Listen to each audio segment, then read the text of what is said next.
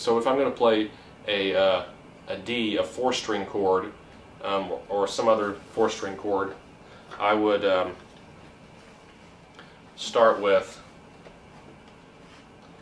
I would start with this pattern here. Um, if I wanted to play a D. 4, 2, 3, 1, 4, 2, 3, 1, 1, 4, 2. This is what we want to get to. Obviously, we may not be there just yet.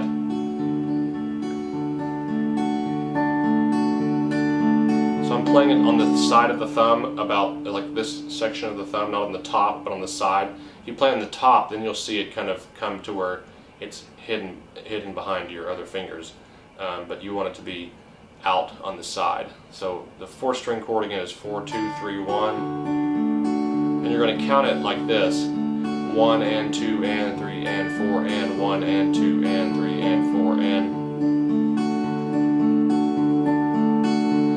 Little slower. So if you're doing this for the first time, it's going to be your thumb first, then your first finger on the second string, thumb on the third string, th uh, second finger on the first string. So thumb, one, thumb, two, thumb, one, thumb, two, thumb, one, thumb, two, thumb, one, thumb, two. Practice that with me.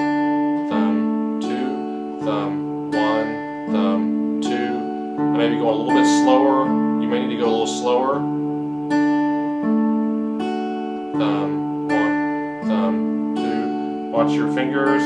Thumb, two, thumb, one, thumb, two, thumb, thumb, two, thumb, one, thumb, two, like that.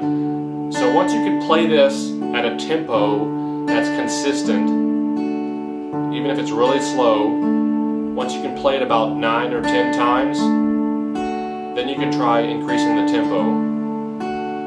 So.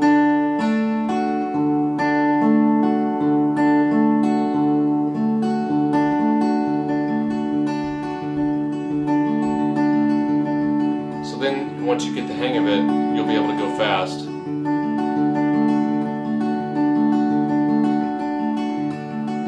And of course, if you're having issues with the left hand, quite push the chords down yet, you might stop and just use the right hand.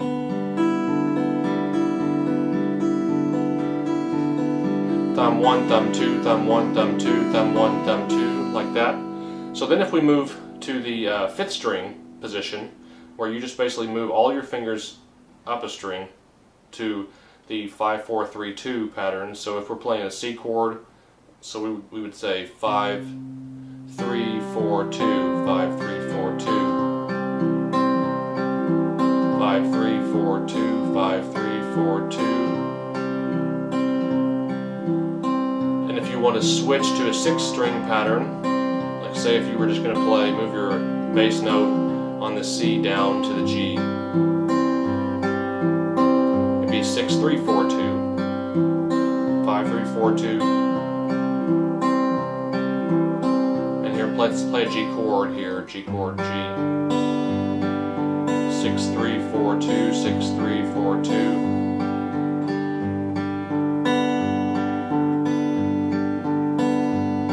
back to five string and then the four string.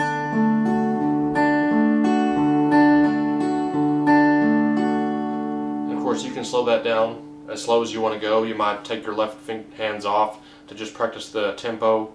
So it would be 4, 3, uh, 4, 2, 3, 1, 4, 2, 3, 1.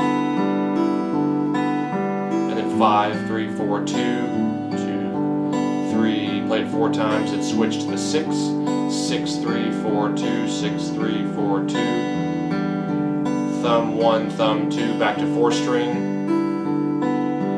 Four two three one. Four two three one. Thumb one thumb two. Fourth string so we're saying the strings which is four two three one and then we're saying the thumb which is thumb one thumb two so the finger the fingers how you're plucking so let's do four more times and we'll switch to the five string pattern, which is five, three, four, two. So one, two, three, four, and then now to five. One, two, three, four, one, two. So it's thumb one, thumb two. Now we're switch to six right here and switch. Six, three, four, two, six, three, four, two, four, two, six, three, four, two.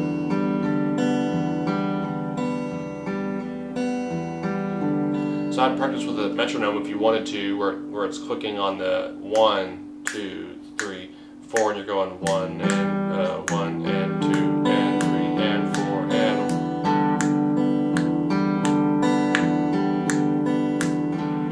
play that down uh, that uh, bass note on the downbeat one and two and practice with that tempo. And then um, you can go slower if you need to and just practice with the one and two and three and four and one and two and three and four and that's how you count it. So that is the first pattern in our 10 um, essential picking patterns for learning how to finger pick. Um, uh, stay tuned for the next pattern which is next week. So I uh, hope you enjoy practicing that and I'll see you next time